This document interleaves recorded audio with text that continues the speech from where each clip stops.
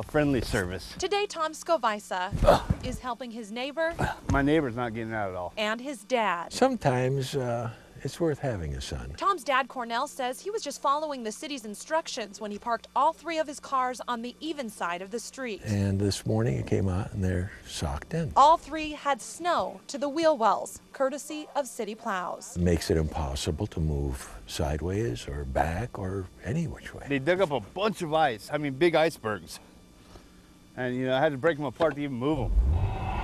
About three blocks away near 21st and Madison, Adrian Thomas tried to avoid digging. No such luck. I don't think it's ever been this bad, and we've lived here a long time. Her mom's car was also parked on the even side of the road. It too got bermed in.